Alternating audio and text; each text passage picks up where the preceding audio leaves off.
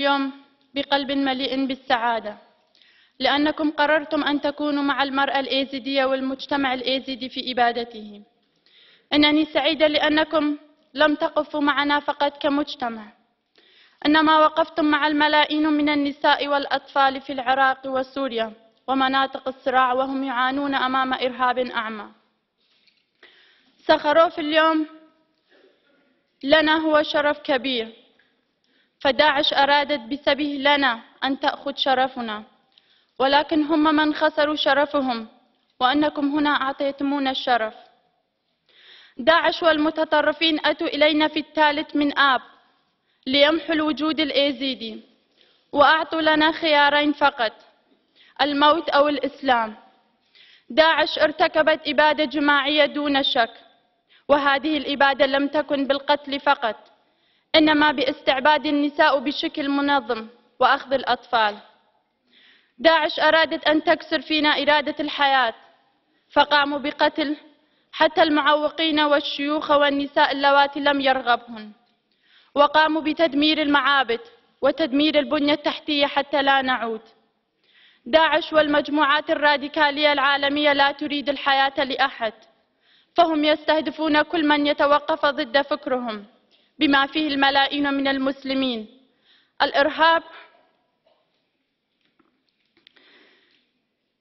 الإرهاب والتطرف هي عدوة الإنسانية. كنت فتى في عائلتي الكبيرة.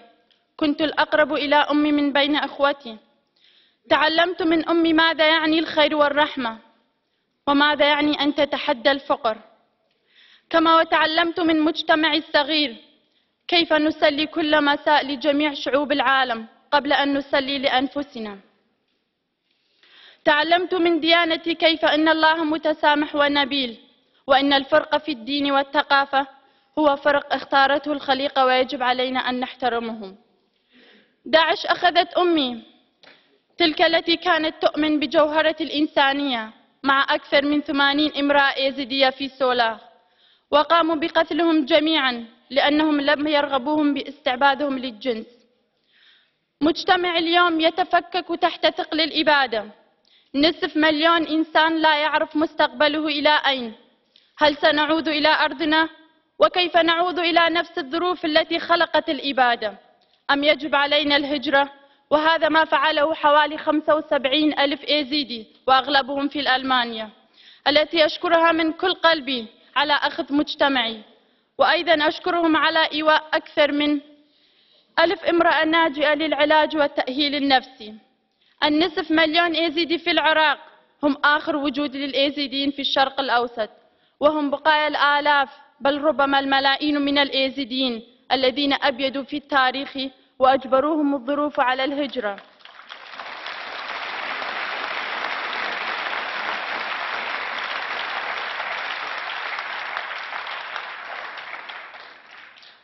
نحن ننظر إلى أوروبا رمزا للإنسانية فأوروبا تثبت اليوم بأنها كذلك بالفعل. أوروبا يجب أن تكون نموذج للعالم جميعا ونموذج لتعايش الثقافات لثقافات الشعوب جميعها. العالم يواجه أكبر خطرين اليوم خطر الإرهاب وخطر رد الفعل من الإرهاب. يجب أن نحارب الإرهاب ونجف منابعه. ونعمل مع المجتمع الإسلامي حول العالم حتى يغيروا بعض التعاليم في الإسلام ويجعلوا الجوامع مكانا للرحمة والحب والسلام وليس مكانا للتطرف والتشدد كما ويجب أن نمنع التطرف والعنصرية في كل مكان التي أصبحت خطر اليوم يجب أن يحترم الفرد بغض النظر عن دينه أو لونه أو جنسه أو مكان إقامته يجب أن يتم. يجب أن يتم حماية الأقليات الدينية في العراق ومن... ومنها حماية مجتمعي بعد هذه الإبادة. وذلك عن طريق إقامة منطقة آمنة تحت حماية دولية بالتنسيق مع الحكومة العراقية وحكومة أقليم كردستان.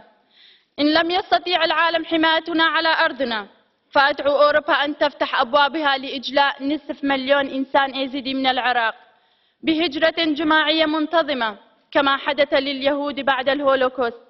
فنحن لا نتحمل أن نكون وقودا للإبادة والاستعباد. كما ويجب تأسيس نظام محاسبة, محاسبة دولية وآخر محلي بمسا...